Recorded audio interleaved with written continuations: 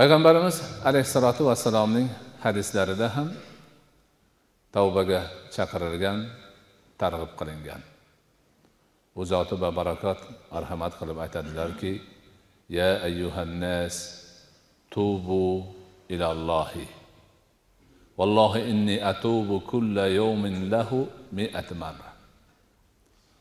Oy odamlar allohga tavba qilinglar. Allohga qasamki man har kuni u zotga yuz marta tavba qilaman deydi.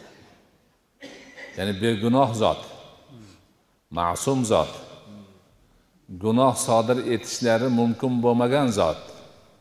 Alloh farazan gunohlari bo'lsa oldingisiyu oxirgisini kechirib qo'ygan zot har kuni yuz marta tavba qilar ekanlar